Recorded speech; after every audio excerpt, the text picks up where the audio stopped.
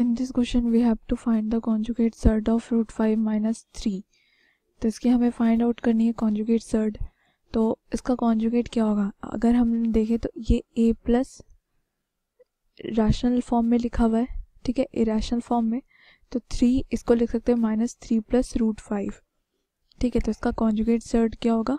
Minus three minus root five क्योंकि कोई भी नंबर अगर ए प्लस रूट बी के फॉर्म में तो उसका कॉन्जुगेट क्या होगा? A minus root B such that इन दोनों का प्रोडक्ट हमेशा रैशनल नंबर आना चाहिए या फिर क्वाड्रेटिक के फॉर्म में आना चाहिए।